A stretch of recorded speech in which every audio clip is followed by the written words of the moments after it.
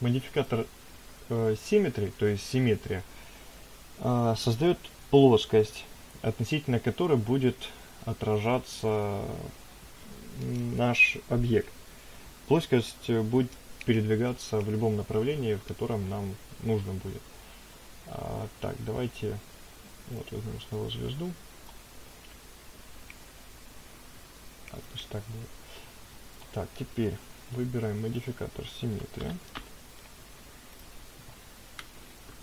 И вот у нас появилась плоскость. Мы выбираем ось, по которой нам нужно отражать. Ну, пускай будет стандартная. И теперь мы ее... Нет, нет, нет. Выбираем именно mirror. Обязательно mirror, потому что нам нужен будет... Ну, мы выбираем то, что мы будем перемещать. И вот мы перемещаем зеркало.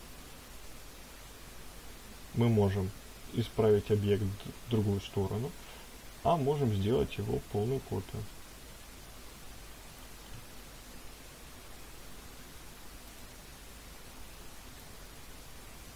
То же самое будет, если нажать на кнопку Flip, если вам надо будет в другую сторону.